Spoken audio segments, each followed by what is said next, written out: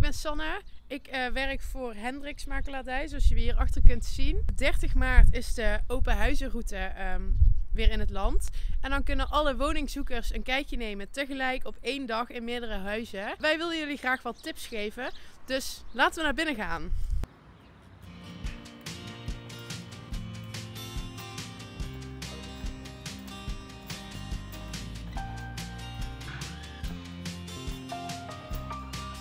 Onze eerste tip is het schrijven van een uh, bezichtigingsverslag. Maak van tevoren een lijstje. Vooral als je meerdere huizen bezoekt, kan dit erg handig zijn. Um, in dat lijstje schrijf je alle dingen die voor jou uh, het huis moet hebben. Dus hoe groot moet het zijn? In welke buurt moet het liggen? Um, in welke staat moet het huis zijn? En dan vul je aan het einde van de bezichtiging het lijstje in en vink je alle punten af die het huis had. Zo kun je dus aan het einde goed zien, ook al weet je niet meer precies hoe het gegaan is, um, welke punten het huis nou had en welke niet. We gaan even een rondje door het huis maken en we beginnen bij de keuken.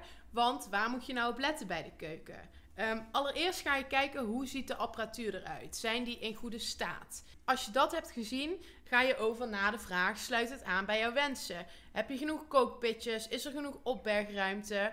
Um, en is het gewoon jouw droomkeuken? Dan de woonkamer. Deze is natuurlijk ingericht naar de smaak van de verkoper. En daar moet je rekening mee houden. Je moet er doorheen leren kijken. Um, Verder is het wel belangrijk om uh, te kijken naar de grootte.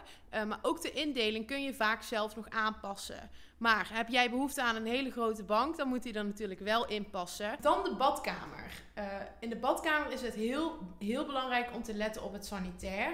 Hoe ziet dat eruit? Is het in een goede staat of is het aan vervanging toe? Um, ook is het belangrijk om in de badkamer goed te kijken naar de ruimte die je daar hebt. Voldoet dat aan jouw verwachtingen? Dan de slaapkamers. Um, daar is het vooral heel belangrijk dat je kijkt: zijn het er genoeg en hoe zijn deze ingedeeld? Want als je bijvoorbeeld in een woning bent waar je heel veel opslagruimtes hebt uh, buiten de slaapkamers, dan hoef je bijvoorbeeld niet te kijken naar je kledingkast. Maar is dat dan niet, dan is het belangrijk dat ook jouw kleding uh, in de slaapkamer past. Dus hou daar rekening mee. Probeer een goed beeld te vormen van hoeveel ruimte je nodig hebt. De buurt, die is natuurlijk ook onmisbaar. Um, zijn er winkels in de buurt? Zijn er scholen? Uh, wordt er buiten gespeeld door kinderen? Hoe zijn de buren? Allemaal belangrijke dingen uh, waar je ook de kans voor hebt om dat te vragen tijdens de open huizenroute. Dit zijn vragen die je vaak wel aan de verkoper kunt stellen. Of je kunt van tevoren zelf al wat onderzoek doen. En rij ook zeker een rondje door de buurt heen om even de sfeer te proeven. Dit waren onze tips voor de open huizenroute. Um, we hopen dat we jullie een beetje op weg hebben geholpen. Natuurlijk kun je ook altijd de makelaar van de woning bellen waarbij je gaat kijken om extra vragen beantwoord te krijgen.